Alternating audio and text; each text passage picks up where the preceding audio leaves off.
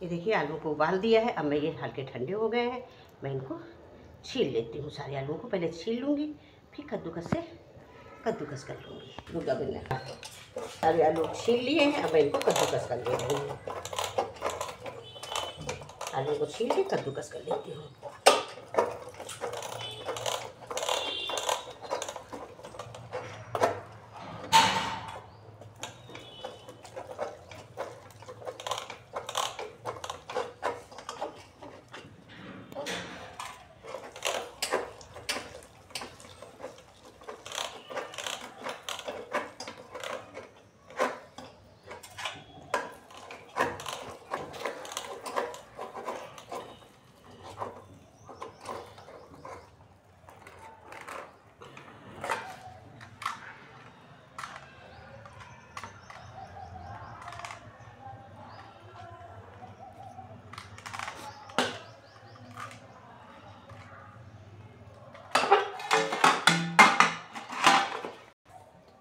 नमक मिर्च डालूँगी और जीरा मिलाऊँगी बस।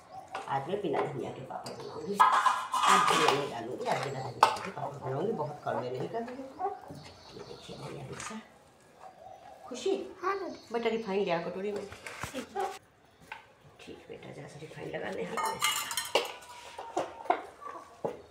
वैसे दादी रिफाइंड के लगा है। बेटा इससे चिकना हो जाएगा तो हाथ वो बेल लेंगे तो चिपकेगा नहीं। और आज मैं कपड़े पे डालूँगी ना कि पॉली में। पॉली में डालने से पापड़ सीधे सीधे नहीं रहते वो टेढ़े हो जाते उलट दो तो। और कपड़े में उसी तरह से फिर रख दो तो सीधे से जाते थोड़ी और ऐसे बिलेगा भी नहीं चिपकेगा पॉली में ना इसलिए। अब देखिए मैं इसके छोटे छोटे बॉल बना दूँगी।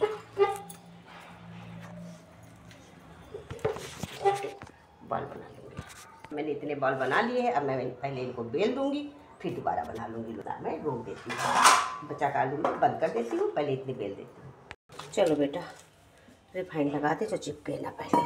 फिर नहीं लगाऊँगी बार बार, पहले मैं रिफाइंड लगा देती हूँ। देखो, तुमने हैप्पी होली लिख के रख दी, चलो अच्छा किया।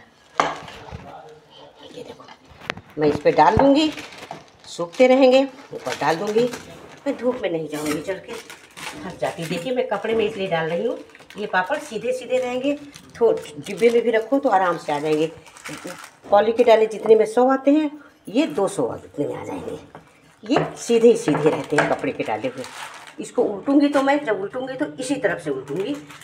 उलट के नहीं रखूँगी, जब उठाऊँगी दूसरी जगह से रखूँगी। और दूसरी बात, इससे धूप भी ज़्यादा लग जाती है। फर्श से भी तब जाते हैं तो ये जल्दी सूख जाते हैं। इसलिए मैं आज कपड़े में डालूँगी। ओके अगर आपको इन्फॉर्मेशन अच्छी लगी हो तो लाइक ज़रूर करिएगा आगे देखती है।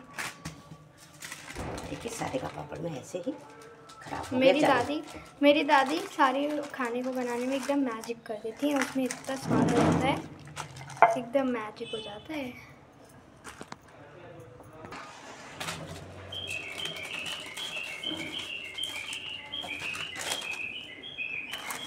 गुड़ बेटा तब तो भी जल्दी हो जाएगा हम्म।